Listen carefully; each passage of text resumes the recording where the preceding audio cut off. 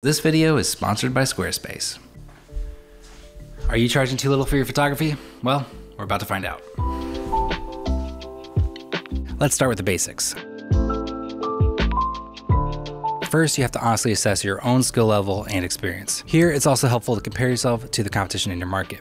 If you find there aren't a lot of experienced pros in your market shooting your style, jackpot. I mean, as long as your genre and style are in demand. If there are a lot of other pro photographers just killing it in your area, well, it's likely that you'll have to lower your prices to book clients. It's just like any other market, supply and demand. If the supply outweighs the demand, as in there's more photographers in your area than there are people wanting to hire a photographer, well, you just won't be able to charge as much. If it's flipped, however, and you're the only one shooting guys dressed up in astronaut suits and you are surrounded by guys who want photos of themselves dressed up as astronauts, well, darn it, you're gonna do pretty well for yourself. You can Google around to see if you can find prices from specific photographers in your area or even just an overall write up about price ranges. If you're a wedding photographer in the US, you can search sites like The Knot, where photographers will have their price ranges listed on their profile, which can be a quick way to get an overall idea of what people are charging for what quality of wedding photos. It gets a little trickier when pricing commercial work because it just varies so dramatically. For some commercial projects, you may get paid based off your day rate. Depending on the client and the scope of the shoot,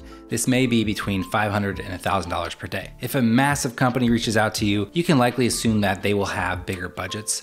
A smaller, lesser known company will likely have smaller budgets. When you're a sought after commercial photographer, you will likely be charging at least in the five figures for projects. Now, if you're doing photo work for something like a small family run restaurant, you'll likely finding yourself charging closer to $500. Portrait work like headshots, family sessions, newborns, senior photos, etc., is often priced at an hourly rate. And when charging hourly, you have to figure out what your time is worth. Not only your time actually taking photos, but communicating with your client before and after the shoot, driving to and from the shoot, editing and delivering the photos, etc. As a newer photographer, 50 to $100 per hour is pretty common in the US. As you progress in your career, you'll want to up your prices probably in the 150 to $300 per hour range. As you become content with the amount of shoots you book and the income you generate, your free time will become more valuable to you, and that's when you'll continue to increase your prices, getting closer and closer to your I don't want to do it price. For event work, it obviously depends on the time you'll be there. Either a day rate or half day rate would be common. If your day rate is $750, a reasonable half day rate would be $450 to $500. Now you may be wondering, why wouldn't your half day rate just be 50% of your full day rate? Well, if you book a half day gig on a Saturday, it's possible someone else would reach out to you for the same day, but for your full day rate. So there's the opportunity cost of taking a four hour gig and turning down an eight hour one. And of course, your fixed costs of doing business are the same regardless of the shoot length. More on that later though. One thing that we recommend is trying to find out your prospective client's budget before you give your price. So if someone wants you to shoot their event, you can ask, what budget did you have in mind? Now, they may say they aren't sure or won't give out a number. I am declining to speak first. And you'll have to give your price first. But it's possible a client will have a bigger budget than what you would have charged. One way we've approached this is on our contact form, we have a required field where they have to enter their budget. So when we get an inquiry, we have an idea of what they're willing to spend. Every so often, you should be increasing your prices. Why? Well, you're gaining more experience, becoming better at your craft, and hopefully becoming more in demand for your services. And back to our example about market dynamics, there's only one supply of you. And so if your demand increases, your price should increase as well. Let's say you charge $2,000 per wedding and you booked 10 weddings last year. Your clients love the images, you saw your work and confidence improve, and word of mouth is starting to spread. Well, for the next season, try increasing your prices. If you think $3,000 is reasonable for your work in your area, don't be afraid to make that leap.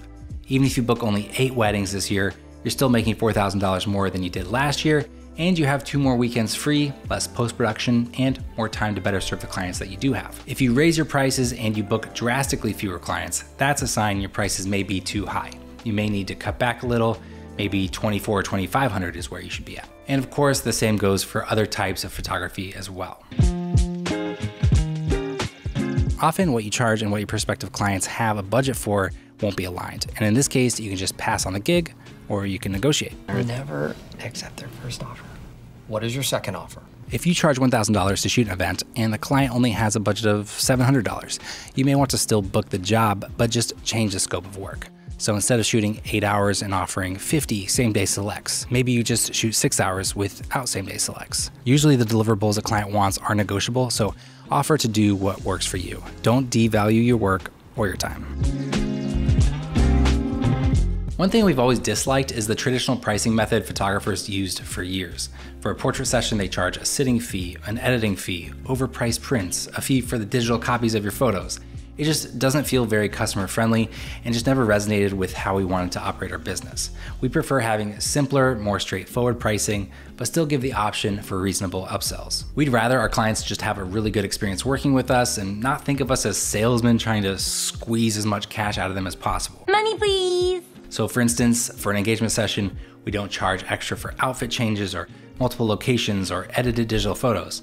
Instead, we'd offer something like a two hour session with at least 50 edited digital photos. We don't care if they want to change outfits or drive 10 minutes to another location. It's not a big deal to us, and we'd rather the clients get the most out of their two hour session and for us to get the best possible photos. We don't want unedited raw photos tied to our business circulating the internet. We want control over how those photos are post processed, so of course, we aren't going to charge extra for editing photos. Everyone wants digital photos these days, so that's what we'll give them. No extra charge there. Now, something like photo prints or extra hours, sure, that we will charge extra for. When we send them their online gallery, they'll also be able to buy prints straight from there, where we have a reasonable profit built into the price. But another aspect to consider when setting your prices across the board are all of your core costs. So let's talk about that. Another factor to consider when setting your prices is your expenses. We can break expenses down into two categories fixed and variable. Your fixed expenses will include your gear, supplies, website costs, software costs, advertising, studio or gear rentals, insurance, and business licenses. Your variable expenses will include packaging, postage, travel costs, hiring assistants and second shooters, etc. So, not only do you have to ensure that your base expenses are covered, you then need to make sure that you charge enough to actually take home profit at the end of the day. The fact of the matter is, you'll put in a lot of hours before even picking up your camera, and even more after you set it back down, and you'll have bills to pay just for existing as a business. Oh, and you'll have to pay around 30% of what you make in taxes, at least here in the US. If you've watched our videos before, you probably know that we are pretty big fans of Squarespace. We have been customers of theirs for years, long before this YouTube channel even existed, and still have our three Squarespace websites going strong. Usually, we do something off the walls for our ad spots, like fake our elopement to trick my mom, spoof old MTV reality shows, or do our best Peloton commercial parody. But I wanted to let you know about some new things cooking over at Squarespace. If you're a photographer looking to diversify your revenue streams, check out their new member areas. This allows you to sell access to gated content like video classes, digital downloads, or newsletters. Frickin' sweet. You can also showcase your photography with Squarespace's professional portfolio designs.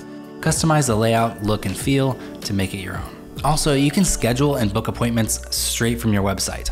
You need to lock in client meetings? Well, they can easily see your availability and reschedule if needed, making your life a heck of a lot easier. And if that wasn't cool enough, you can save 10% off your first purchase of a website or domain when you go to squarespace.com slash mangostreet or just click the link in the description.